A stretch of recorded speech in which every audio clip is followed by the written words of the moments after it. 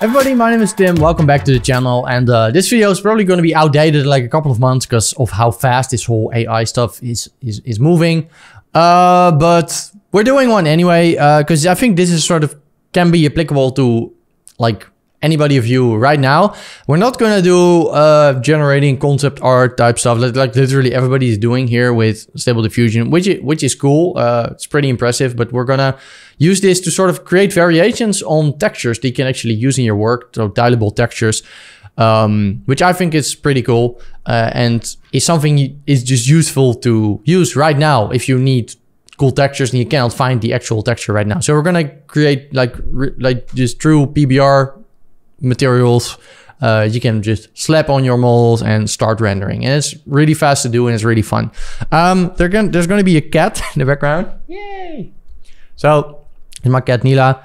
Um, she likes to to sit here when I yeah when I when I work and um, I didn't want to put her away. So there's just going to be a cat here. Uh, and I don't think anybody will probably mind. So if you hear some meowing in the background, this is because the cat is there. So thumbs up if you like the cat. Uh, anyway, ado, let's actually just sort of first install. Oh no, now she's walking away. Goodbye, kitten. Um, but let's just first install Stable Diffusion with a gra uh, graphics user interface to run. There's just multiple ways to do this. It's an open source thing. There's dozens of sort of guides on how to make it work. This one just has a nice uh, graphics user user interface to work. Um, so yeah, let's just start installing it. But this will run locally as well, so there's no need to like get a paid subscription for something. You just this runs locally. It, of course, the speed depends on how fast your hardware is. Uh, but there's this guide here, which I'll put in the description. Uh, but we'll also go through it in case this guide ever gets removed or something. Um, so you just go through this guide. There's a couple things you need to do. They mention install Git to download the repo. You don't need to install Git. You can install Git and clone the repo if you want, but you can also just go to the GitHub repository like this and then just go to the code and download the zip file. Then when you have the zip file, you want to uh, put it somewhere. You want to, so I've just put it in on my C drive here, Stable Diffusion, and then I just extracted it here. So essentially this is just what you get from the zip, just this, this folder. So you just put it there. That's step one, easy. All right. Um, right, you need to download the checkpoints. I guess that that's the training data because this is quite a large, large file. You can get it over here. Uh, you need to make an account here. It's a free account, so you just register and you can download it. So just download this model. Then when you downloaded this model, you put it in this folder and you rename it to model. And uh, you just put it, I think, let's see where, where was it putting it? All right, there we go. Model.ckpt, just rename it. And I guess when they later release another model, you can swap it out. Um, pretty easy in the eh, same folder. Um, other thing that you need to do is you need to go to uh, uh, GFPGAN checkpoints. Um, there's multiple sort of models that you can use. I downloaded them both. Um, experiment with it. I'm I I I I've recently started experimenting with all of this, so uh, uh, I don't know enough to really give you an in-depth in-depth explanation of what the difference would be for texture generation. Uh, 1.4 produces slightly more details and better identity than 1.5. I guess that for textures that could be useful. Um, 1.3 more natural uh, restoration results uh, on very low quality, high quality inputs. So um, I guess they both have their pros and cons. So you just put that one in the folder as well. So you can see I have them there. Um, then there's uh, a bunch of other checkpoints you can use. So if you go in here, you can download any of these. So these are sort of the extra stuff for like, for example, if you want to upscale your textures, which is of course something pretty, pretty important to, uh, to do. Uh, so you can just read sort of the, the purpose of how, uh, how it works. So maybe download the 4, 4, uh, 4X Ultra Sharp because it's going to be great for sort of upscaling uh, images. But like you can, you can try uh, you can try multiple ones. Maybe you want to clean up your textures first and like you want to maybe use another model. Um, just put those in the uh, in the folder as well, uh, in the ESRGAN folders. It's going to be over here. And just put a couple of, you can just put the models there. that's essentially everything you need for the installation. Um, then what you do is you just go in there, Stable Diffusion, and you just open, you put, uh, double click on webui.bat. And, oh, wait, one more thing that you need to do. Let me close this. You need to install Python, sorry. Uh, kind of assumed, I guess, everybody had Python installed. You, if you go to the Windows Store, you can just install, you, you can go to python.org, uh, download it here. Or if you're just on Windows, you can go to just store and then just download it from here. And it's just going to be a one click thing if it actually wants to load. So you just search for Python and then just go to Python 3.10 and install this. And then it'll it'll work. Um, so do, do, do whatever you want. Do one of the two. All right. Anyway, now let's actually open the webui.bat because if you didn't have Python installed, it's not going to work. So uh, do you need to do this every time you're going to sort of start uh, using this? So this is not a one-time thing. You just do this every time when you want to use Launcher Stable Diffusion. Let's just, um, all right, took a little bit, but uh, here we go. Um, so model loader, you need to do this every time, by the way, when you start doing this. Uh, and then once it's finished, you can go to 127.0.0.1786, uh, and then you can see we're here inside of Stable Diffusion. Um, from here, you can do anything that Stable Diffusion can do. So you can also just use it to generate regular images like uh, extremely fluffy kittens eating cheese. Uh, something like that. I don't know. Let's do a little bit higher resolution. All right, let's just press generate. That's gonna generate some extremely fluffy kittens eating cheese, hopefully.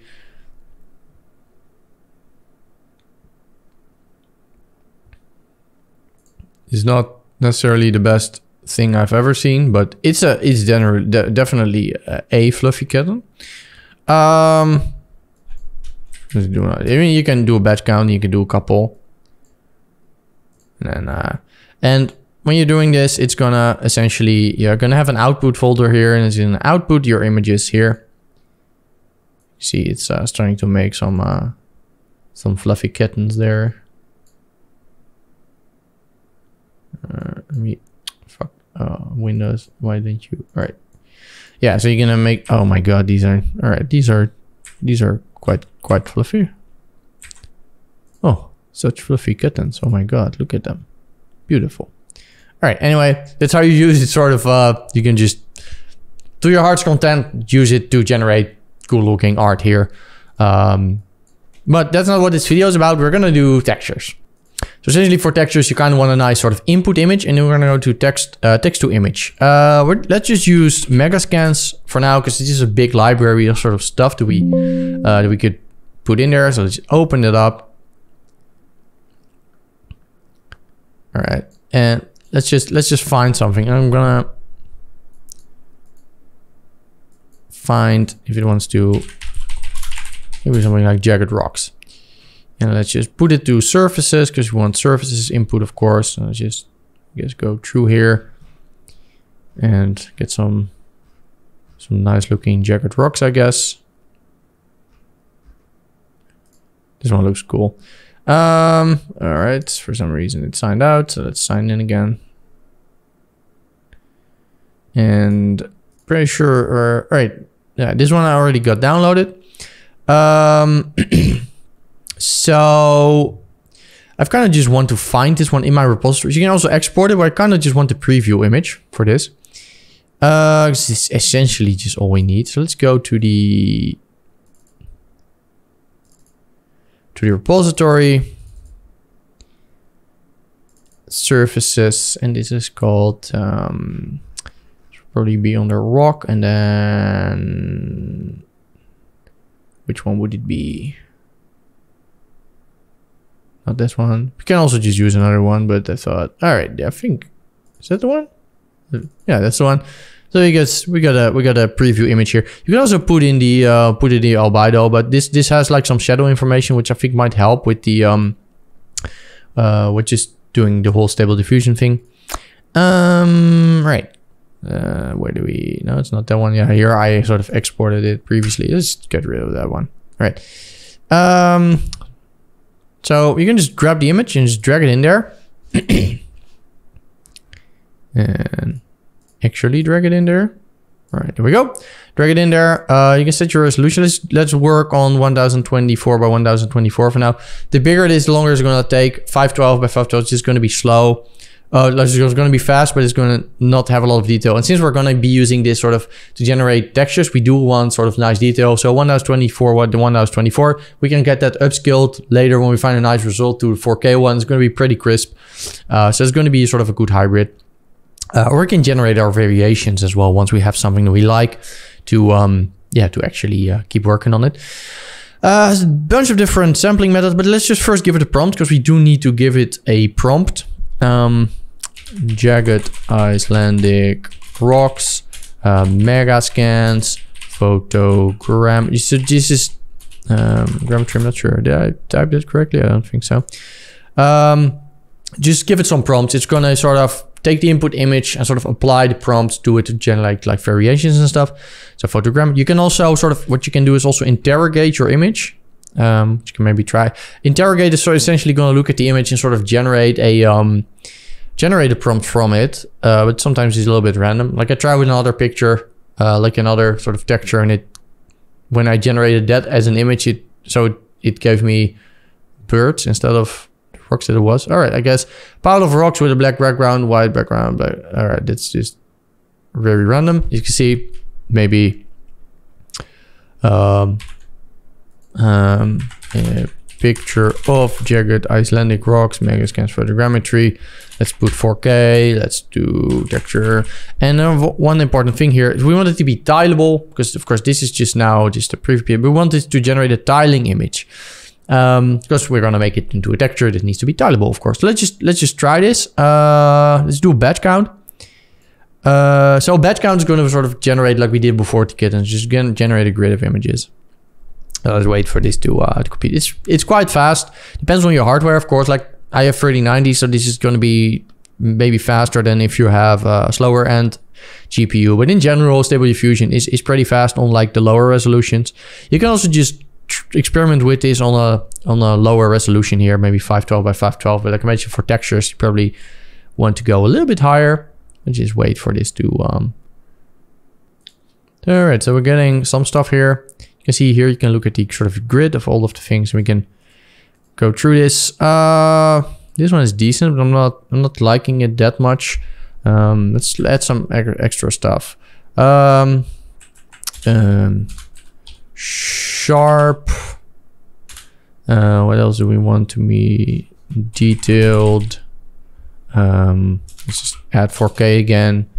Um, all right, let's and we can try different algorithms. So there's a different sampling methods here. I found that D DPM is gonna give me like with like I tried it with this texture before. They gave me a better result. Let's just first see what sort of it will give with uh, Euler A. And then I'm going to switch it to DPM and we're going to see sort of the difference that th this thing is going to make. All right, so this did not make it better. Um, let's, let's just remove some. So let's remove maybe these two. Let's remove. All right, so this is already giving me some more stuff to work with. Um, I don't necessarily like all of them, but this one is pretty cool. It's a little different, but I, I kind of like it. Um, what we can do, like if we decide that we like something like this, what you can actually do is you can sort of grab the seed here and you can just put it in here. So if you're going to put the seed in there, it's essentially just going to um, use uh, sort of this as a sort of a base and you can iterate from there. So then it's not going to give you completely different results every time. It's just going to be roughly in this neighborhood. Let's just try it again. And we might, so this is already being saved. So if we get really different results, we might actually start using this as an input image instead. Uh, but let's just first see what this will give us with these with the seed. And else I'm gonna switch out this input image for this one. Uh, let's let's let's see what we're gonna get. Because I I, I kind of like what this is doing here. Kitten wants attention. this is what I mean. Like if I if I don't let her in here, she's she's like a, she's gonna meow all the time. Or I need to like put her in a living room, but that's going to be sad because kitten doesn't want to be sad. So yeah. All right, so not necessarily much of a difference. So I'm gonna, what I'm gonna do is I'm gonna send this one to image to image. So So it's gonna grab this as my input image. I'm gonna just put the seed back to minus one. So minus one will just generate a different result every time. Uh, and now I'm gonna, let's generate again. Let's just see what we're gonna get now. Right, there we go. So we're starting to get some, some cool stuff. Um, kind of like, this one looks pretty cool actually. Or maybe, maybe this one. This is more defined shapes. I want to maybe see some more variation. So this is where you would, could like put your seed in here and you could just try with sort of uh, different things. Like this will sort of the this will sort of give how much guidance the uh, uh, the prompt should have. So you could maybe reduce that a little bit. And then press generate. You can really hear the cat in the background. Yeah come over here. Come over here Nila. Yeah. All right so we're getting some variations here. Uh this one's quite cool. I don't know. I still, I think I still liked this one the best. Um, maybe I, I, can see if I can come up with a prompt that's sort of gonna, because um, there's some, it's like something that looks like sort of gold flakes or something, sharp, detailed. Maybe let's try gold flakes. Uh, um, mountain. See if I can get something really different. Try with the different algorithm. Let's see. I kind of I this one is also kind of cool. Maybe we'll, we'll continue with this one later, but let's just let's try let's try this first. Oh, probably should have probably should have done a random seed. Right, I can interrupt this. Right, minus one again, and then let's do generate. And if you open up the, you can see in the um, command line here, you can see sort of the, the stuff generating. And if you go to your to your outputs, um, gonna be this one. So even when you generate a grid, it's just gonna output in the uh, in the images here. Oh wait, in the text image grids. There we go. So you can see you can see all your sort of generated images here. All right, I think all right, we're all, we can already start seeing some. All right, this is starting to look cool, actually. Let's just wait for this to um to finish. We have the actual grid, but it's kind I kind of I'm digging sort of the sort of the gold flaky type of stuff that was being added, which I I kind of liked here. So, all right, so it's done. Let's have a look. So this one is dope. All right, it's added like a literal gold thing. Oh, this is very different. This is like literally sort of gold ores or something. That's maybe getting away too much from what we want. Um, like this one is is quite nice. All right, maybe let's uh Let's just try this one. So, right, so with this one, uh, or let's maybe let's maybe grab this seed and try different algorithms. Uh, maybe try with Euler A. We're we're we're getting we're getting somewhere. Right. I don't think this is getting any better, to be honest. Um. Let's try with just like like I made like like these ones give me sort of more realistic results. Uh, generally Let's just... You know what? We can also maybe try grabbing the one that we did like. Just putting that as an, an image. And I think we're...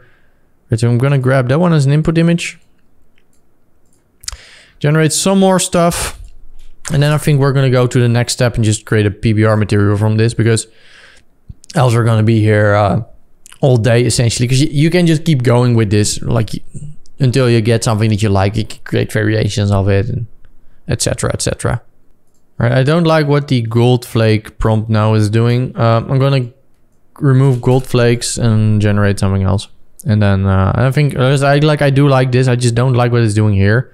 So let's just remove the gold flake stuff, and then hopefully it'll keep sort of the input of the um of the more gold flake like stuff without it actually having real gold flakes in between there. Or maybe maybe it will and it'll look cool. Because I like I do like this one, to be honest. But uh right, that seems to get rid of most of the gold flakes entirely. Uh, so maybe Oh, okay. I think I like this one. Uh, so it doesn't have the gold flakes like real gold flakes, but it does sort of have these sort of patches, which I kind of like. Right. Um, so let's say that we like this one. And by the way, you can also go to InPaint, for example, and just actually paint stuff in here to generate more stuff in there. But it, like you can you can do a lot that you want. But let's just first let's start upscaling this because right now it's 1024 by 1024, which is quite a low res texture. We probably want like a 4K texture. Let's put it to send to extras. And this is where the extra models sort of come in that we had over here. Um, so there's, you can do multiple sort of um, upscale algorithms. Uh, as you could, let's just try two different ones. So let's just leave it as default. Let's do, like I, I let's let's just try something. Let's just gener press generate. Let's see see what's gonna do for, for me. You can you, you should probably see it work here, but with the upscaler you don't always see it in the command line. Let's see if it uh, will actually uh, do some. All right, there we go. So uh, upscale texture. Let's see in our folder. So this will output in a different folder. It will be in the extra images. I don't know. It always generates two for some reason. Not sure why. Uh, but you can see we get a we get like a pretty crisp, sort of nice looking thing. Um, it is of course more of a sort of a, like like a photo because it has like the shadows, but that's pretty good because we're going to use another AI thing to generate a PBR material from this. In this is where Substance Sampler comes in. Um, so let's jump into Substance Sampler. So let's do Substance Sampler. A Substance Sampler has its own sort of uh, AI image to material thing. You probably, if you've used Substance before, you probably know what I'm talking about. Essentially, what you can do here is you can just grab, for example, one of these images, just drag it in here, and you can see there's multiple ways to do it. So you say image to material AI powered, and um, you just press thing, is gonna do it's gonna do its thing, right? All right, there we go. Uh, we probably want to set something for the base material. So there's a couple of presets. We might maybe use the brick preset here. Um, let's try something more gray for the uh, for the base color. Um, it's already it's already looking pretty good to be honest. You can you can change like stuff like roughness here, um, specular level, etc., etc. Uh, you can go in your shader settings here to change the displacement quality for your for pre preview and probably want to do like a nice HDRI maybe. Not sure which one we have right now. So you can see you can preview your HDRI and then with shift and right click you can see you can sort of rotate your light to see how sort of how this behaves. Probably a little bit less specular. This already in itself looks pretty good. Um, the thing I noticed that essentially if you make it tileable here, it will be tileable. Once you upscale it, it might have slight tiling issues. So what I like to do is um, just go in here and just say make it tile. And it's essentially just cleaning that last part up.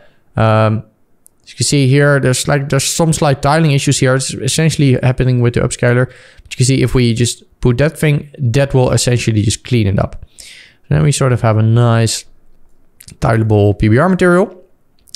Um, you can you can play around with this, like do other things, but um, let's just leave this as this is right now, and let's let's just export this. So let me go to the folder here for my tutorial. Already have a texture folder there. Um, maybe want to preview this in a high quality even. Right, Go to share. I still don't understand why they call this share. This sounds like a sort of a social media app, but let's just export. Uh, set it up however you want. Like I'm gonna do this with Redshift. I'm gonna do a um, 4K texture and call this uh, jagged this uh, jagged rocks discolored or something like that. Um, and let's press export.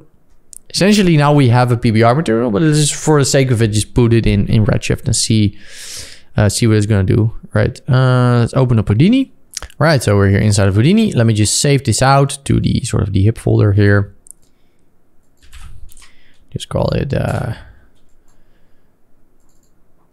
And stable diffusion tutorial. All right, there we go. All right, let's just try this out. Let's make a grid. Let's use UV project on it. Pretty simple. All right, there we go. Let's just build a little material. Let me just change my user interface. So I have uh, my regular sort of interface I'm used to. Let's make a material. Material builder. And let's just, so we have the new standard material there. Let's just uh, put some stuff in here. Shift texture. Let's go to, um, let's see, where did it, did it already output the textures? Uh, did I output them in a different folder? Stable diffusion. Oh wait, this is a different project. This was a demo project that I had before. Let's just, okay, I'm gonna put them in here in the actual correct folder. Text, right. Uh, export. All right. Um, all right, we're gonna have texture folder here. Oh, oh, the, the cat wants attention again. Yeah, kitty. Yeah, I know. You want petting. Right, uh, we can put diffuse in here. Let's call it diffuse. Put it in the base color. And then just do, uh, we don't need emission because there's no emission. We need metalness to go into metalness even. Like, it's probably just going to be black because there's not really any metal here. Although it might because we used sort of gold flake-ish materials or maybe, I don't know what substance deal with it. Um, let's look at the other stuff. Uh, reflection roughness. Let's do roughness. Let's put that into reflection roughness. There we go. Let's grab, I think the last one we need here probably is going to be displacement because we don't have any opacity. So let's go displacement. And yeah, just do a displacement texture. Let's put it in there. Displacement, right. Oh. Let's make scale a little bit smaller. Let's do uh, Redshift Light Dome. Let's maybe grab a nice HDRI from Polyhaven. Always nice HDRIs here. This is look something that might might be good for our for our thing. Let's search for something like rocks.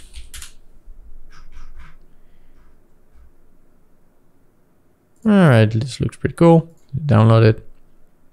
Go to our zip file. Let's make a HDRI folder.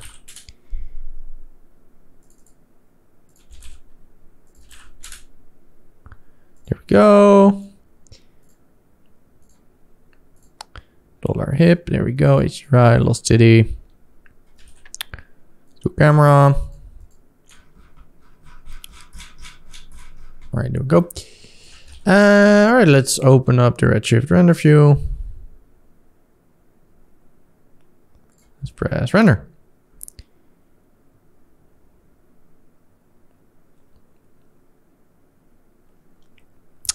Uh, oh wait, we didn't apply anything yet. Oh, probably for the diffuse we want to put this to, maybe just put it to auto. We'll probably figure out what to do with that. Um, there we go.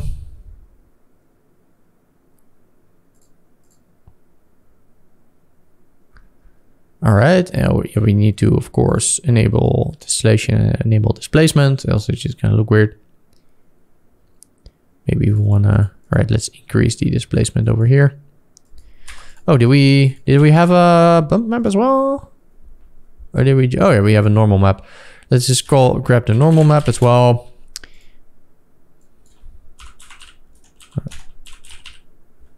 Normal map. All right, yeah, I guess we just need to do just do that one in here. There we go.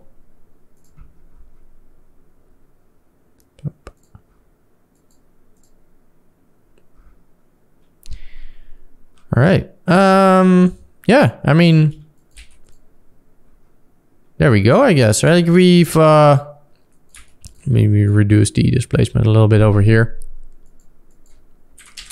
Let me close this one down. It's just gonna eat up VRAM. Yeah, uh, like we've created quite a nice sort of PBR material here, as you can see. And this will this will tile, so I can I can try that out if I want. I can uh, let's just hook up all of this stuff.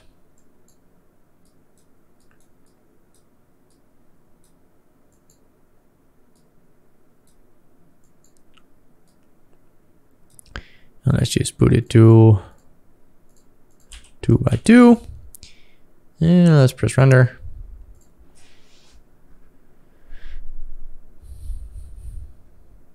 Right.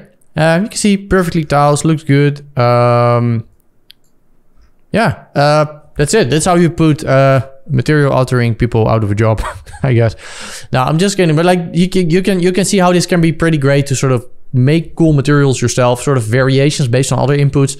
Um, and because essentially we just gave this an input image of sort of a texture, or rough rough estimation of the texture that we were after to get something that's quite different but still in the same ballpark. So you can see how you can sort of maybe make this uh, use this sort of if you have sort of an environment and you have live megascans textures but you want some more variation like based on sort of a similar input this can be sort of a pretty great tool already today um, to just make cool looking stuff. Um, so hopefully this was enjoyable and a sort of a different take on using sort of AI to to help you in your work today instead of just making well, I guess it could already help you with concept and work, but now it can also help you with uh, 3D work before we're also being put out of a job when AI can generate models, which it already can. And I saw a bunch of things which I'm happy with because I hate modeling.